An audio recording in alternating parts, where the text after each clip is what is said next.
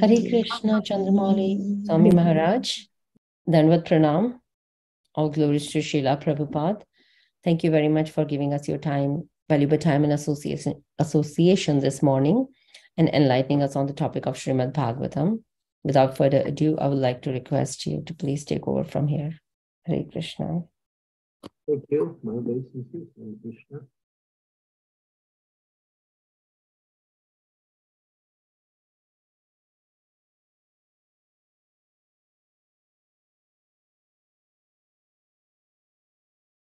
Om Namo Bhagavate Vasudevaya.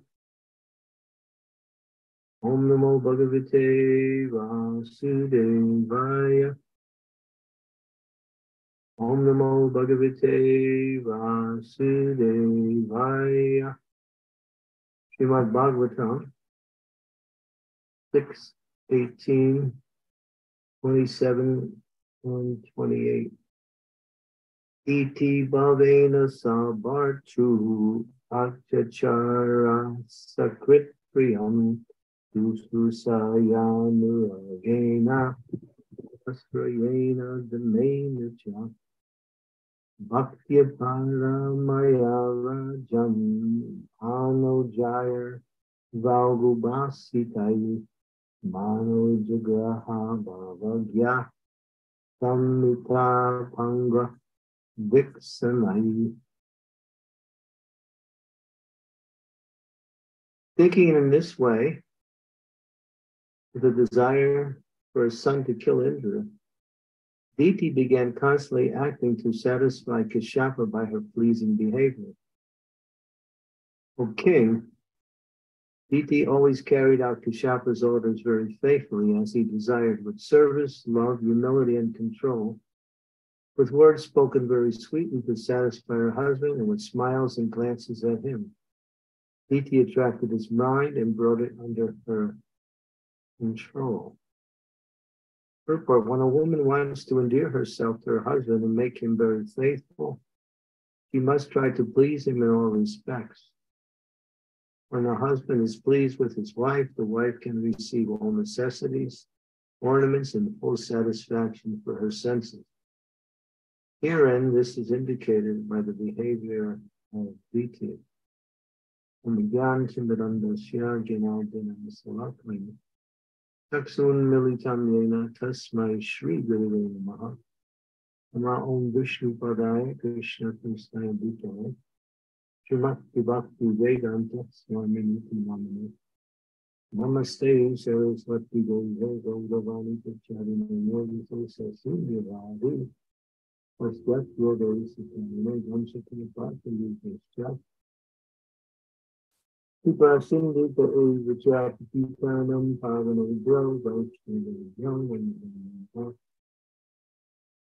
Krishna, Chaitanya,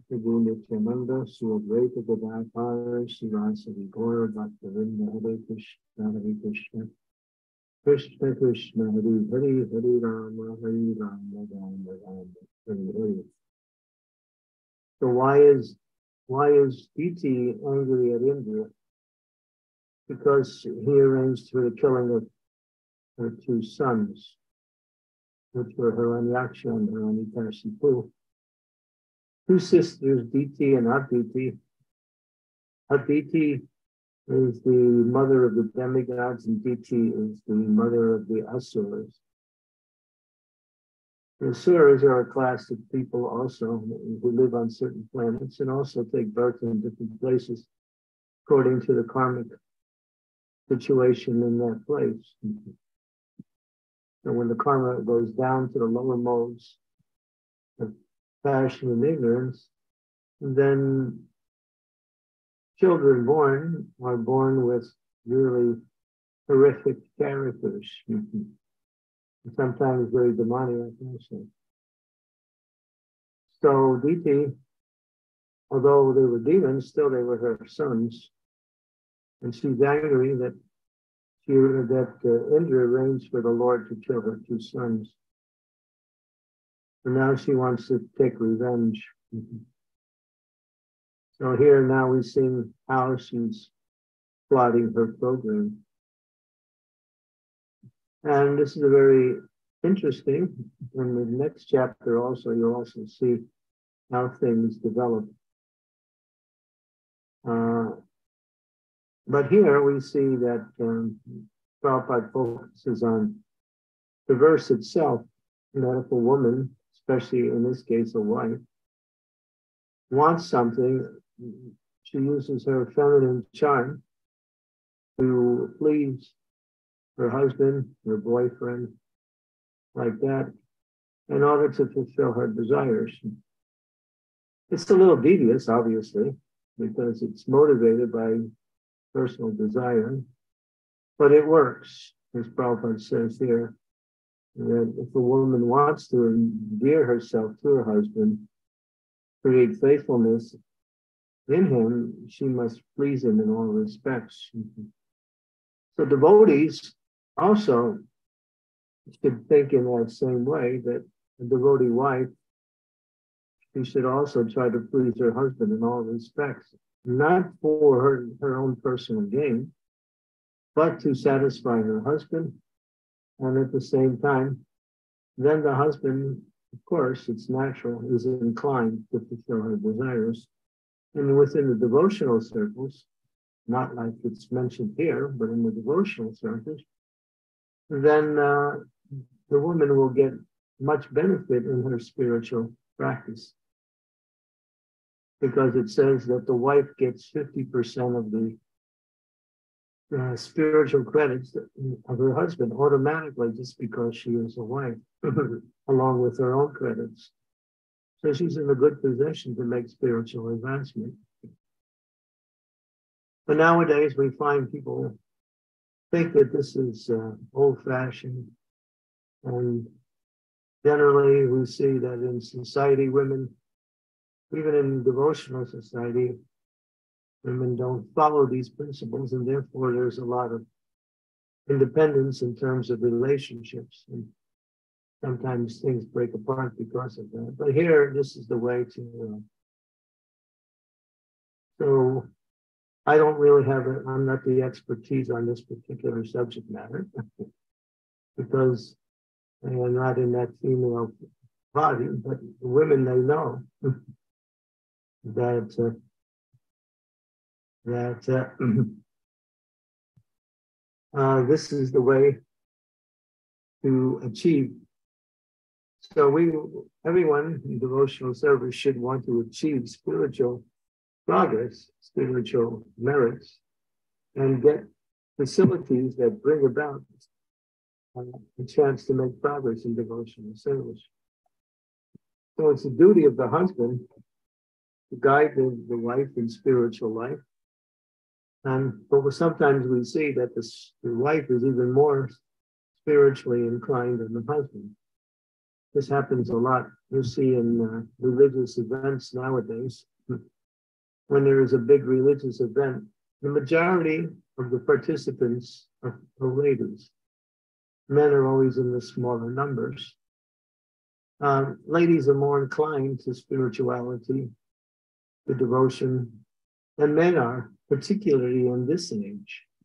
You know, that's the emphasis, not so much in previous ages, but particularly in this age, because men are very much inclined to material progress, and therefore they're always busy trying to improve these areas of life. Well, sometimes the women, they have much time. There was one event in our uh, in Bombay many years ago when one of our leading sannyasis held the Pandal program. And it was during a cricket match. Everyone knows that sometimes we use a little euphemism and we say, what is the what is the uh, the main religion in India? And the answer is cricket you'll see when the cricket matches and India is in the finals for the championship, you know, the streets are empty. People are in the stadiums, they're in the, they're in the, uh, they're on the television sets watching the cricket match. It comes. So there was one cricket match, and we had we had a Pandal program right at the same time. And the devotee who conducted it mentioned later that there were thousands of people there, but very few men, mostly all women. In fact, not only the majority, but the large majority. So the men were all at the cricket games or watching the television sets. This is Kali Yuga. and uh, it's very laudable and very much wanted to see that the women are more inclined to spirituality. Just like even on our daily Zoom calls, we find there's always more women on the calls than men. women make up the large majority of the classes everywhere throughout our ISKCON society. Not always, but in a lot of places. So that that is obviously good in the sense that the women class are, are very much devoted.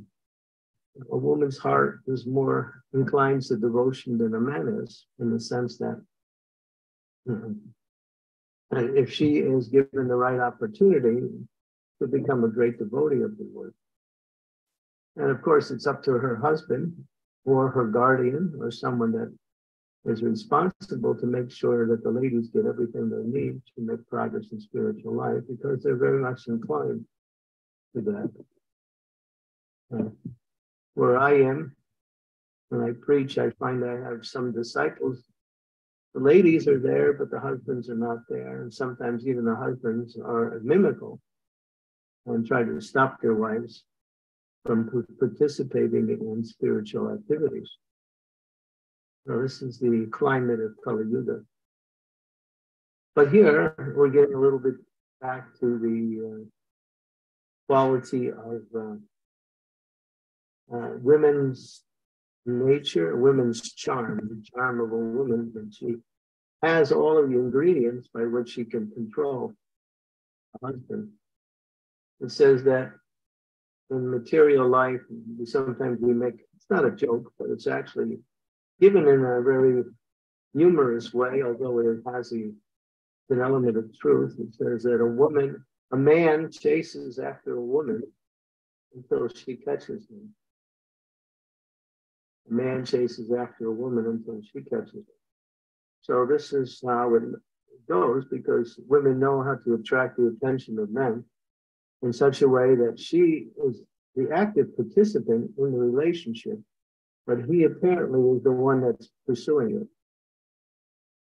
So um, women are very powerful.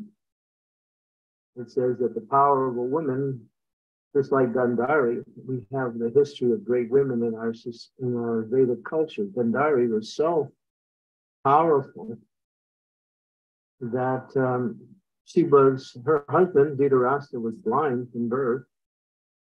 In order not to become superior to her husband on the physical level, she voluntarily wrapped cloth over her eyes so she would not be in a better position than her husband.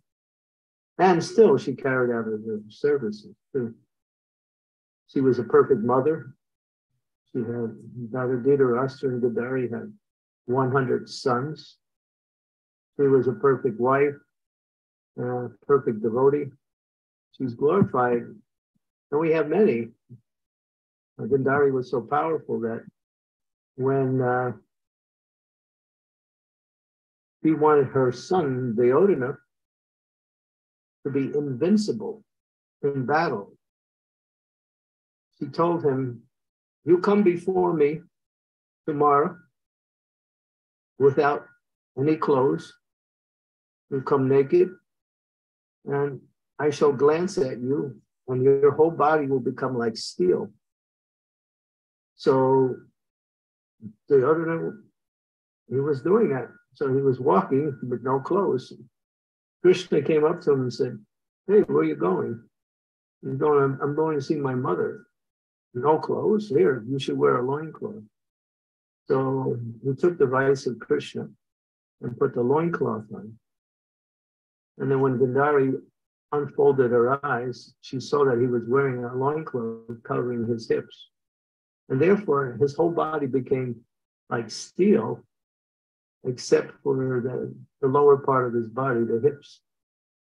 And then when he was fighting against Bhima, Krishna gave him the Krishna gave Bhima the, the clue how to kill the Duryodhana by hitting him in the hips and breaking his hips. And the Gandhari, she realized that her plan had been frustrated by Krishna. But that she was that powerful, simply by looking at the body of her son, it became like steel. And he was invincible in battle, practically, except that Krishna foiled that plan in order for the Pandavas to win the war. And we have many great ladies in the history of the Sita Devi. She was so chaste and faithful despite being captured by that Rakshasa. Uh, uh, Ravana. Ravana was quite charming. He was also very handsome. And he had many wives. But she didn't succumb. And he threatened her in so many ways, but she remained faithful. Rather, she would rather give up her life than give up her chastity to her husband. And then there is uh, Mandodari. Mandodari was the, uh, the chief principal wife of Ravana. She's glorified in the Shastras as being one of the most chaste women in the history of Vedic culture. But the most chaste in all of all chaste women is Anasuya. We don't hear much about Anasuya. She's mentioned in the Bhagavatam. But she also, there's a whole section that is considered an extension of the Ramayana, where Anasuya is giving instructions to Sita, the wife of Ram, how to become the perfect wife, perfect, uh, yeah, perfect wife. So Anasuya is considered to be superior to all of the ladies as been the most chaste of all chaste. You can read about her pastimes in the fourth chapter of Srimad Bhagavatam. So women are very powerful, extremely powerful. And when a man is married to a very chaste wife, he becomes extremely uh, uh, expert in everything he does. It says that the woman is the better half of the man. And that is not just some statement of glorification, it's actually true. Uh, in married life, that when uh, when a woman is chaste and very faithful and serves her husband very nicely, satisfies him in all respects, he becomes advanced in Krishna consciousness and he becomes very spiritually and materially very powerful. So women make the difference actually within the world.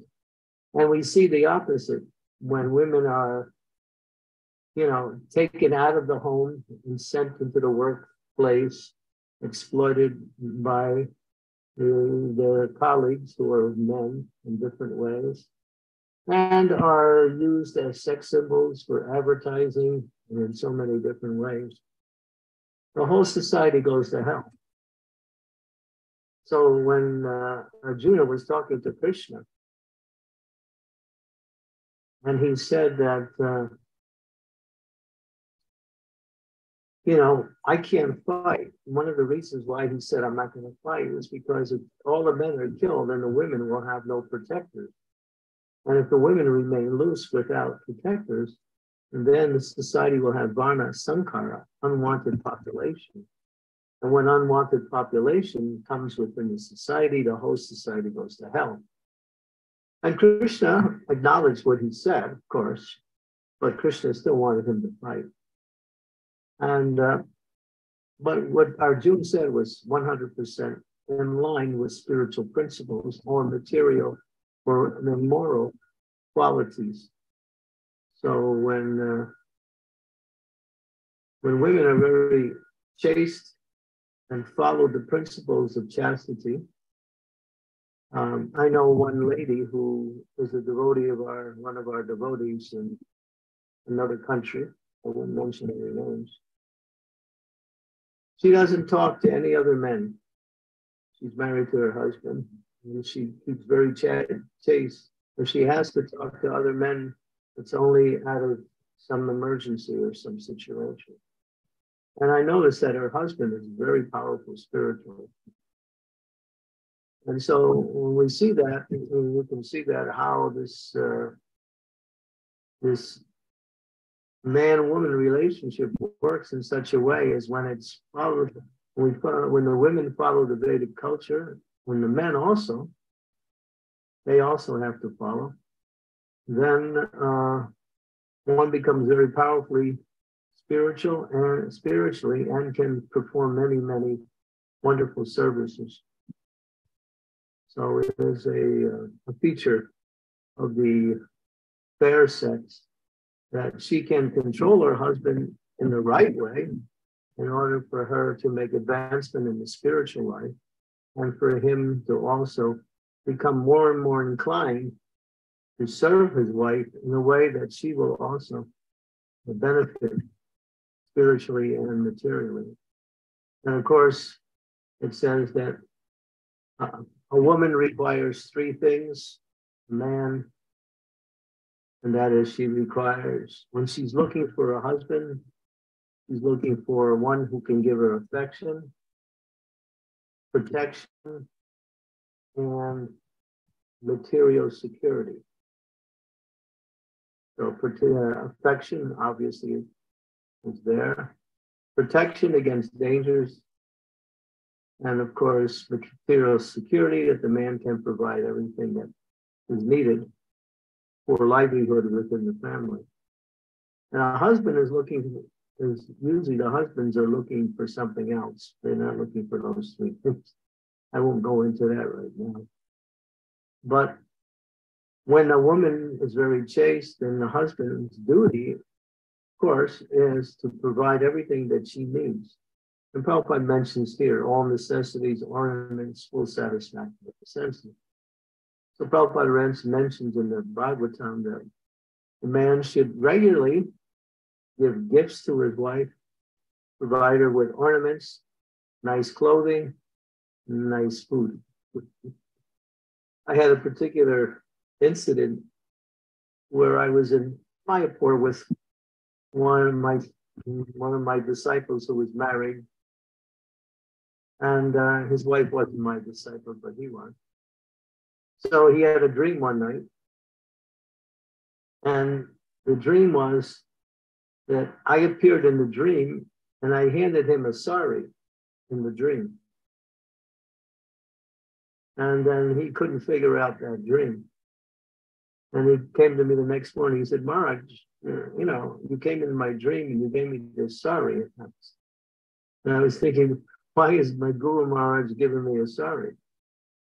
So later I understood that the sari wasn't for him, it was for his wife. I gave it to him in the dream to give to his wife because he needed to do that. He needed to give some gift to his wife, particularly a sari so this was a nice little reminder for both of us. And of course, later on, right after that, he bought her a sari. It was a green sari in the dream anyway. I don't know what color he bought her. That's that's something else. So yeah, so uh, if you want to keep the marriage together, there's there is not just doing your duty, but understanding what is the needs and desires, both spiritually and material, for each of the partners. And if the husband is trying to fulfill the desires of the wife in the proper way, not extraordinary or outside of devotional service, and the wife is doing the same towards the husband, then the then Prabhupada says then there is no need for taking sannyas. He says that I, that Grihastha ashram is as good as the renounced order. So um, yeah, so uh, of course most of us who are in Krishna consciousness are usually in family life. So Bhagavatam gives us a lot of clear and important instructions how to maintain the family, how to develop the family, and how to make the relationships. Because we are always challenged by the Western materialistic society that simply tries to uh, use the individual in order to propagate economic development. In other words, to sell more and more products and to get people more and more involved in working for material gain. But we should not, we should be aware of that and try to avoid that as much as possible and keep the principles of Vedic culture alive, both within the family and within the, the ashram, of course. So these are some things we can think about. Hare Krishna. Hare Krishna Maharaj. Dandavat pranam to you. All glories to Srila Prabhupada. Thank you, Maharaj. Very, very short but very amazing class, Maharaj. I loved it. I loved the points you said, and uh, and all the points are true, Maharaj. Uh, love your humor, Maharaj, when you say you can't speak on marriage. but uh, since we chant, Maharaj, we know, uh, uh, especially I think as a Grihastha, we would like to be a sannyasi, Maharaj. Maharaj, you said uh, wife gets 50% of spiritual credit and i was laughing. Wives get 100% of material credit. So we are always in a losing position here maharaj. I don't know what to add maharaj. That was a beautiful class. And i was uh, i was loving the purport that um, Srila Prabhupada has, you know, given so simple words that we all can understand these purports. And Maharaj, you gave a very beautiful class. I was thinking about the ornaments. I thought today all the Matajis should be very happy. Ornaments are right there in the purport. So everybody loves the ornaments. And Maharaj, so true about the cricket. Even when uh, when I was very young back in India, Maharaj, cricket is uh, is a religion over there, Maharaj. You are very very true, Maharaj. You know, but since uh, thanks to Srila Prabhupada, we we start chanting and we we realize uh, what life is about what we will take away from here is uh, not some cricket or some mundane uh, material thing but, but, the, but the chanting that we will take away for sure. Krishna says neha vikrama nashosti we will certainly take our spiritual credits with us. Yeah, and maharaj sorry maharaj we're trying to make the cricket players krishna conscious hari bol hari bol hari bol yes maharaj yes maharaj we see that maharaj happening too. yes, Maharaj, hundred percent, Maharaj. Mercy of Srila Prabhupada, all uh, all the world is being attracted to Krishna. That's uh, that's Prabhupada's mercy. Um, and Maharaj, you are right, very true, Maharaj. Uh, we see Matajis are way more uh, inclined towards Krishna bhakti. And even today, Maharaj, on the call, there are more Matajis than uh, Prabhu. I, I was actually counting. so there are there is majority of Matajis than, uh, than Prabhus. So Maharaj, you are right. And Maharaj, you know, every time I, I, I listen to Bhagavatam, I am I am being convinced that we get everything from Bhagavatam, even in this material world, Maharaj. Maharaj, you narrated very beautiful story of Duryodhana. Uh, our glories to you, you, Maharaj, about the Gandhari when when she sees Duryodhana and his body gets of steel. And I'm connected to movies of these days, Maharaj, where you know we see this steel man. Like all the ideas, Maharaj, is coming from our shastras. So right. that is, that is so beautiful, Maharaj. Uh, today, you know, kids see bodies of steel and and and uh, the superheroes flying here and there, and we have our Hanuman who went uh, to save Mother Sita from one way to another way to Lanka, Maharaj, flying, right, Maharaj? And we see Steel Man and Iron Man, and this is all coming from Shastras, Maharaj. So beautiful. Yeah. So yeah. beautiful. Everything starts from the spiritual. Everything, Maharaj, everything. All glories to Srila Prabhupada, all glories to your services, Maharaj. Thanks for coming on the call, Maharaj. Dear devotees, Maharaj is there for uh, blessings. So please go ahead if anybody has any questions, any comments for Maharaj. Please go ahead. I see Thank Maharaj, you. so many devotees on the call. Uh, I see on the video uh, Indulekha Mataji. I see Scarlet Mataji.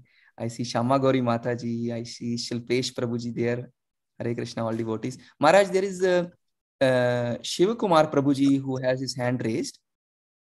Hare Krishna, Shiv Kumar Prabhuji. You can please go ahead and unmute yourself. Hari Bol. Hare Krishna Prabhu, Dandavat Deep Pranams. Kumar, Prabhu. Hare Krishna Maharaj, Dandavat Pranams. Which which Kumara of Shiva are you? Oh, sorry, Maharaj.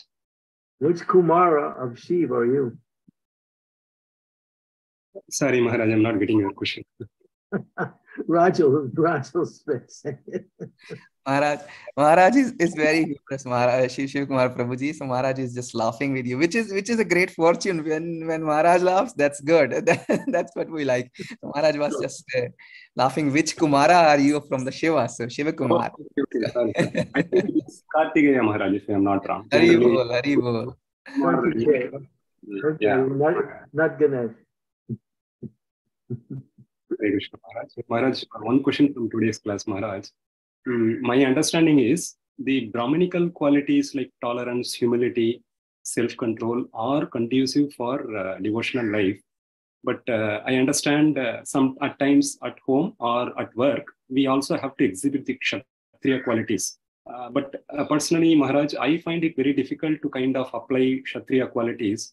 For somehow, I have the tendency to think that they are uh, orthogonal to uh, devotional life, or it's just not coming from my nature. So, kind of, how do I how can I improve uh, to kind of apply Kshatriya qualities when it when the situation demands Maharaj, instead of always looking at the situations internally to see how I can correct uh, internally instead of uh, setting things outside.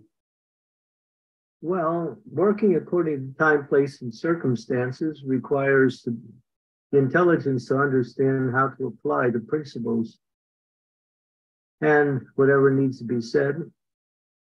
But there is an element that's called Satyam Priyam, Satyam Bruyam, how to speak the truth in a palatable way. So Kshatriya qualities don't mean that you have to use the passion that is inherent in the Kshatriya nature, but you can use the still communicate the qualities or the activities from your own perspective. In other words, when truth is spoken palatably, it becomes more easily to understand, more easily to accept, be accepted. So yeah, sometimes we act impetuously, or there appears to be some immediate response to a situation.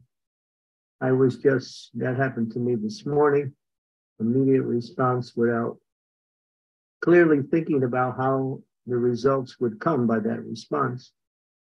So these things can happen and it can cause relationships to deteriorate or break down. So we have to be very mindful. Mindful means uh, thoughtful.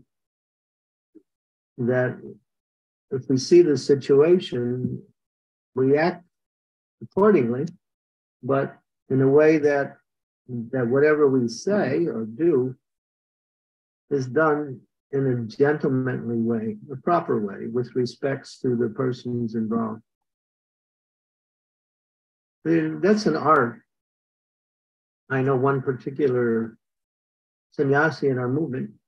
He can speak very strong, cutting words, but he speaks them so sweetly and very intelligently that unless you listen to it, you can't you can't see that he's actually uh, making a point to undercut something you're doing or or, or acting. In other words, he's cutting away your material attachments, but he's doing it in a very sweet way.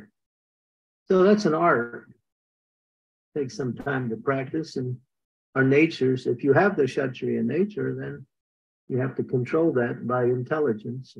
If you're more Brahminically inclined, then your nature is in line with being more in a mood of humility and more in the mood of trying to serve.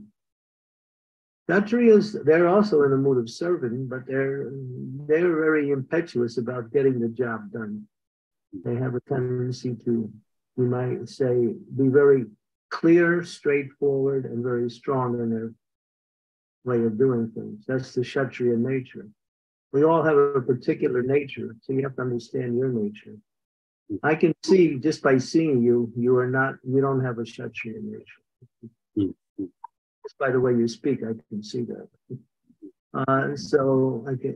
So, yeah, so use your very simple, humble nature, but speak according to time, place, and circumstance. And speak in a pleasing way. Mm. When we want to get somebody to do something, it's not so much tell them not to do something, but to tell them what to do. If you usually you tell a child not, not to do this because they have to hear what not to do. But when you're dealing with grown-ups, you tell them more, you give the understanding of what is right rather than telling them what is wrong.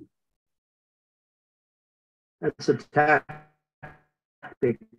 in communications that has more effect than, than putting people down just because they may be doing something wrong. You overshadow the wrong thing by explaining what is the right thing.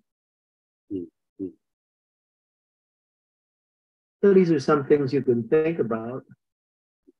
But when you're faced with the situation, then you have to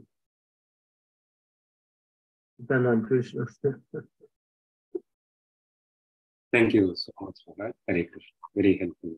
Thank you. Hare Krishna. Thank you, Shivakumar Prabhuji. Thank you for staying with us. Thank you for your beautiful question, actually. Sometimes we are afraid and shy of asking questions. Thank you for coming on the call and asking the beautiful question, actually. So please do join us every day. Uh, thank you, Maharaj. Beautiful answer. Certainly, Maharaj, we can see it anywhere. Uh, sweet words can win uh, win anybody's heart. Also, sometimes some some harder situations too. So words should be spoken very choosefully and carefully, Maharaj. Which uh, which uh, certainly not not the case of Shiv Kumar Prabhu. He's a very humble devotee. We can see, but which certainly comes uh, when we are near devotees like me myself maharaj we we don't understand the real meaning of life and chanting uh, really is helping maharaj is um, taking us uh, from our lower nature to a higher taste maharaj. So true maharaj words should be chosen very carefully because once they are spoken they are spoken. And then sometime we regret all our life oh what what i said in that situation. So thank Yeah. you so much Yeah, you make uh, that that mode of passion comes right, and all of a sudden it grabs us, and then we're speaking in a very upset or angry way. So true, Maharaj. So true. Uh, Yeah. yes, Maharaj. Dear devotees, if anybody has any more questions or comments, please go ahead. So you can be blessed and answered your question by Maharaj. Otherwise, if nobody has no questions, we can end the call. So, Maharaj, I don't think anybody has any questions because it was very simple purport by Srila Prabhupada and then you elaborated very perfectly. So everybody understood, I think. Hopefully, Oh, Hare Hare Krishna. Prabhu, Hare Krishna Maharaj. I, Hare Krishna. Our Tiffany Mataji is there, Maharaj. Hare Krishna Mataji. I just wanted to say thank you. It was such a beautiful class. It really was. I'm very grateful for your class today and for your association. And thank you so much for coming to us regularly. I truly appreciate it. Beautiful. Thank you so much. Hare Krishna. Hare Krishna, Tiffany. Hare Hare Krishna, Tiffany Mataji. Thank you so much, Mataji. So true. Maharaj has a very busy schedule and still Maharaj gives us blessings with his classes. Hare Krishna, Sri Devi Mataji. Dandavat Pranam. Please go ahead, Mataji. Thank you, Raj Prabhu. My humble obeisances to you, dear Guru Maharaj. All glories to Srila Prabhupada. Uh, Guru Maharaj, right in the beginning, almost of the class, you mentioned about how women are so much more inclined to spiritual activities, and now in Kali Yuga especially, come in large numbers. And even Srila Prabhupada writes this in one of the Srimad Bhagavatam purports. But at other times, we read in the scriptures how women are very lusty, they're very materially inclined, they are, uh, you know, materialistic in nature, envious, etc., etc. So, how do we uh, reconcile these? Um, that, that, that, that last statement applies to the materialistic women. Doesn't Huh. apply to devotees. when one becomes a devotee, and they develop, they develop devotional qualities. The best, the best, the best devotees are the gopis. Yeah. Thank you, Hari- Guru Hari- So that statement has been clarified by Prabhupada. When he makes that distinction, he said that that applies. And Prabhupada did say one time to the general body of devotees, he said, the women in our society are just as good as the men because they've taken to devotional service. That is their extraordinary quality. Hari bol. Very, very, very beautiful question, Mataji, and very, very beautiful answer, Maharaj. Certainly. And that comes, Maharaj, only after chanting and uh, after reading uh, Bhagavad Gita. You know, when we think on the top of our body, because this body is uh, what as Krishna says, Vasamsi Jirnani Yatha Vihaya. This is just a cloth on our soul. So then, men and women distinction, distinction is not there, Maharaj. Very beautiful answer, Maharaj. That comes uh, very very late, but it does come, Maharaj. Glories to Srila Prabhupada. So, dear Yeah. devotees, if, uh, if nobody has any questions, any comments, we will end the class here. Uh, Maharaj, our very dear devotees, uh, Indulekha Karuna Mataji is thanking you for the beautiful class, Maharaj. Actually, Indulekha Mataji is behind the scenes all the times. All the time, dear devotees, when you see any purports being shown up and the classes being start and the classes being end, it's all our Indulekha Mataji is behind the scenes. So all glories to your services, Indulekha Mataji. So dear devotees, let us pay our obeisances to Maharaj and all the assembled devotees. Vancha kalapataru